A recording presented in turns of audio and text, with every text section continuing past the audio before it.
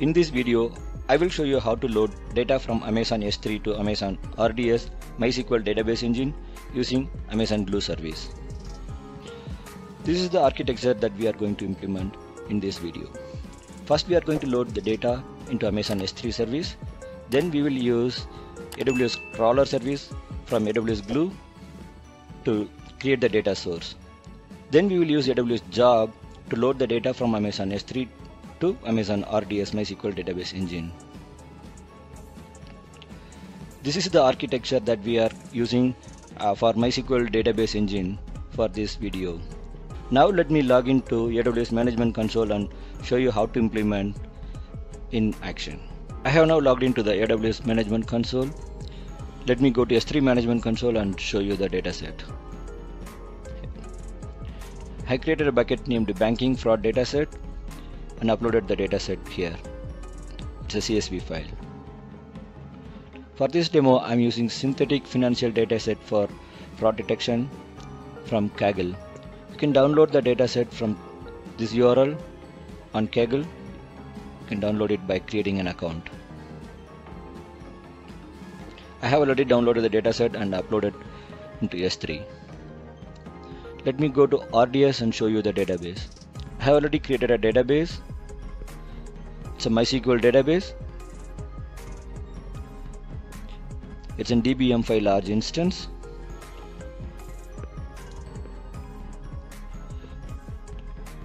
And here is the endpoint URL for this dataset for this MySQL database engine. And I created this MySQL database engine on the private subnet with no public accessibility. Public accessibility is no here. I have already created a EC2 instance on the public subnet and the private subnet to connect to the data database.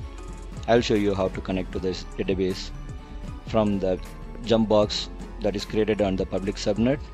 And then I'll first I'll SSH to the public EC2 instance. Then we will connect to the private EC2 instance and from the private EC2 instance we'll be able to connect to this MySQL database. You'll be able to access it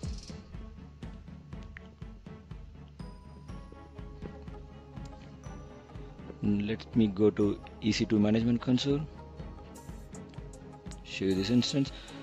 This is the public EC2 instance. First I'll SSH to this instance from the internet. Once I connect to this instance I will SSH to the private EC2 instance. See this doesn't have any public IPv4 address. It has only the private IPv4 address. I'll connect to this instance from the public EC2 instance. And then I'll access the MySQL database from this instance from the private instance. Let me first click on this public EC2 instance and connect. So we get the connection string. I have already connected to the public EC2 instance here. If you see this private IPv4 address for the public instance it's 10.1.1.223 I'll show you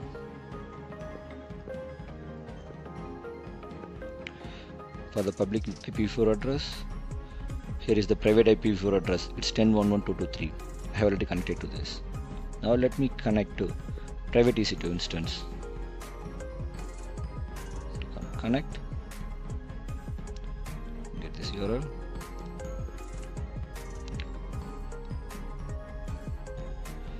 I have already enabled SSH agent forwarding so I don't need to provide the .pem file here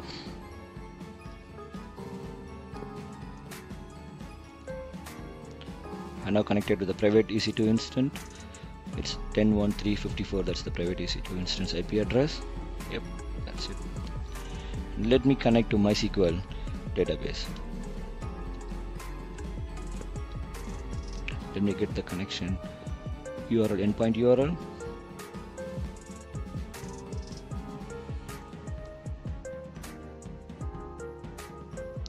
port is 3306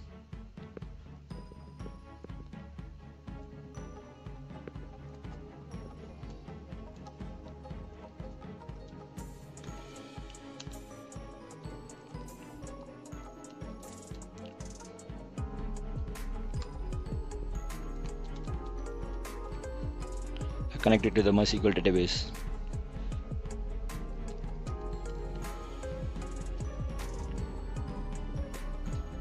So let me let me go ahead and create a new database.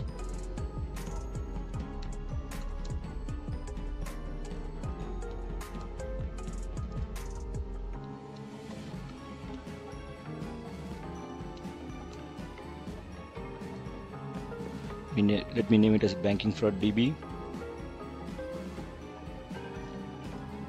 it's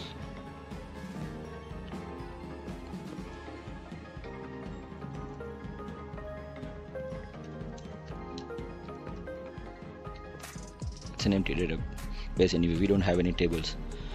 Let's go to glue and then import the data dataset and see how it is working.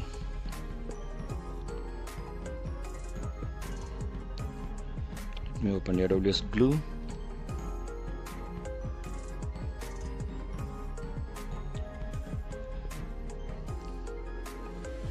before we start using glue let's go ahead and create a role for glue to use in IAM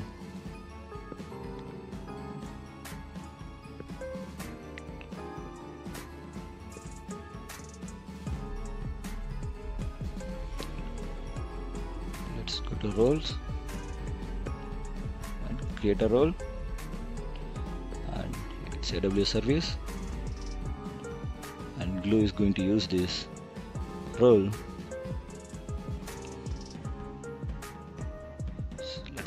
glue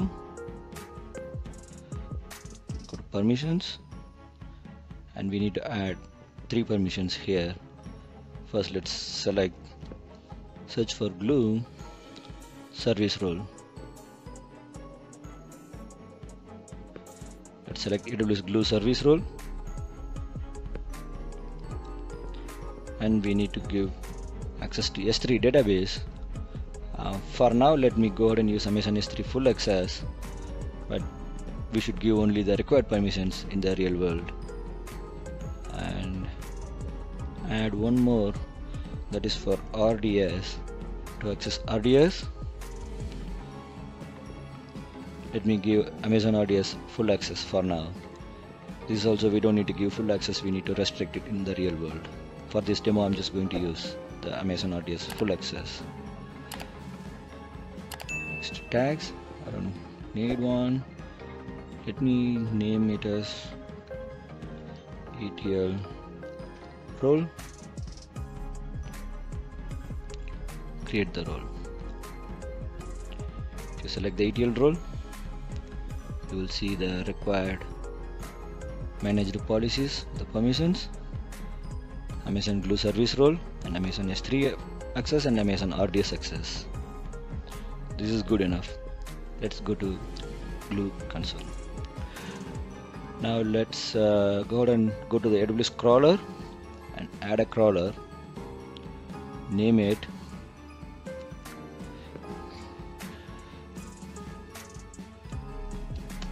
Data source um, crawler.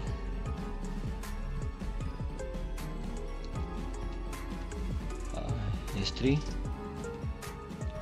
next. Select the data source. I'm going to select s3 data source and select the bucket that is the banking fraud dataset so you see I have that dataset here. Selected now I'm going to leave everything else as default. Go to next. Add another data source. No I'm not going to add another one here but if you have data in multiple buckets and multiple locations in the S3 bucket you can just go and add that and glue will glue it together. Go next. And I'm going to use an existing IAM role that we already created. Select ETL role go next. So here uh, we can select uh, if you want to schedule the crawler job or if you want to run it on demand. I'm going to leave it as run on demand. And next we need to add a database. Don't have one. Let's go and create one. Um,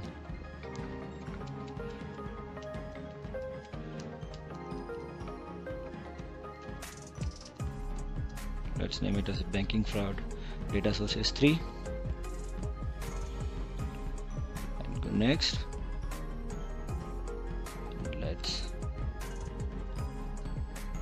finish it. Now let's run this crawler job. Select it and then run crawler. It's going to take a while. I'm going to pause this video. I'll come back once this is completed. Now the crawler job is completed. You can see the crawler job completed and made the following changes. It has added one table. So tables added is one so let's go to databases here. Our database is created banking fraud data source s3 and then if you see this tables yeah we have that table.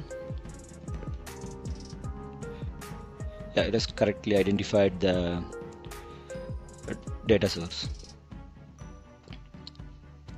Now let's go to connections. We need to add a connection for our MySQL database let's add here. Type uh, connection name.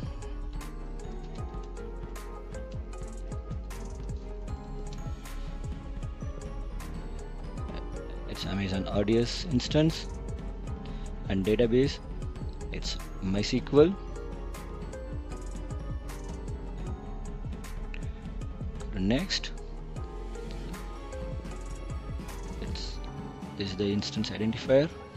For the database name we're going to use the database that we have created banking fraud DB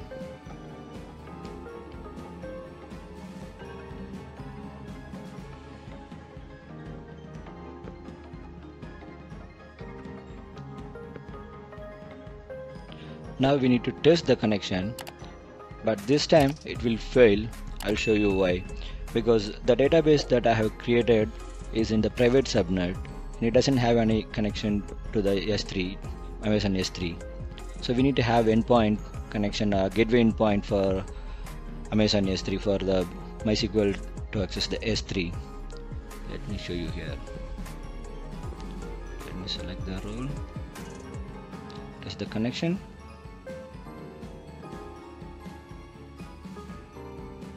It has failed. The reason is VPC S3 endpoint validation failed for the subnet where our uh, MySQL database engine is running. So let's go ahead and take care of it. To management console, move to VPC.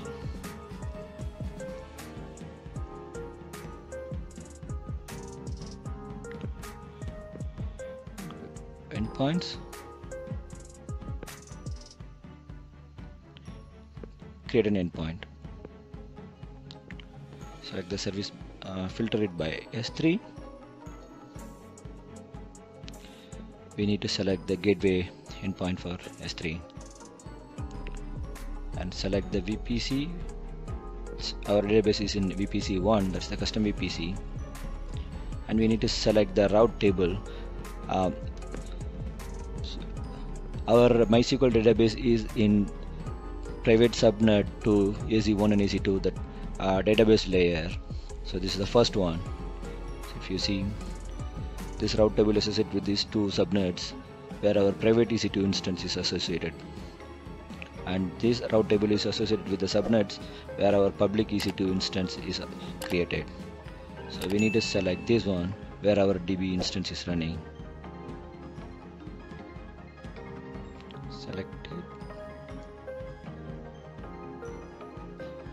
and for now I'm going to give full access. But in the real world scenario we need to customize it with only necessary permissions. Create endpoint. Now the endpoint is created. Let's go to glue console and see if that connection is working. Test. ETL role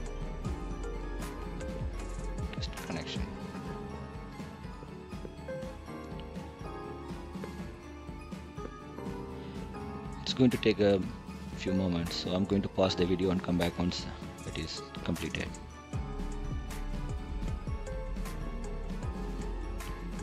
MySQL DB connection test is completed successfully. Now let's go to glue job. Let's add a job job name let's name it as a load s3 data to uh, MySQL. Select the role. And the job type I'm going to leave it as Spark job. You can do Spark streaming or Python shell and I'm going to leave it as a proposed script generated by AWS Glue. And I'm going to leave everything else as default. Let's select banking fraud dataset that we have created using AWS uh, glue crawler job. Select next. Leave it as default. Change schema. And I'm going to create tables in the data target. For this I'm going to select the JDBC connection and the connection type. Connection is that one that we have already created MySQL DB connection. And the database name we need to give the database name. It's the banking fraud DB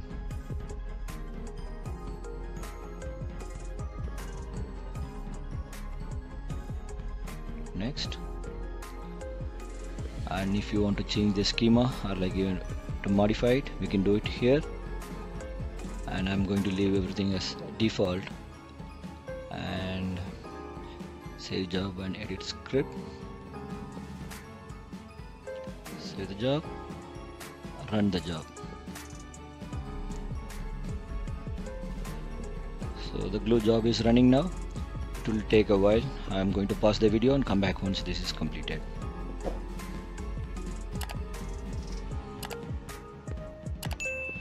now the AWS glue job is completed successfully.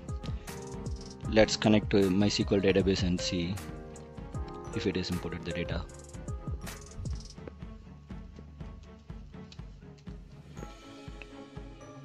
Has added a new table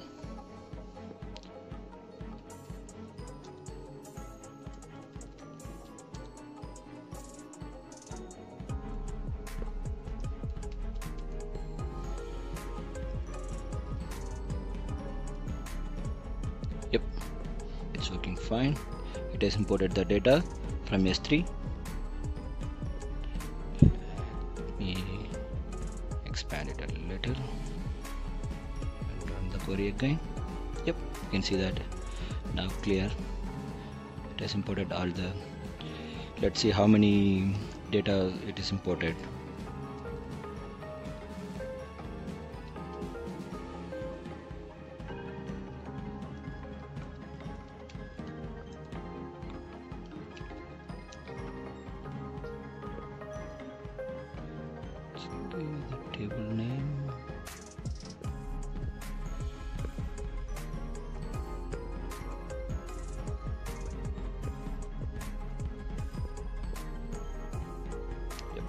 Has imported over 63 million data in less than 5 minutes.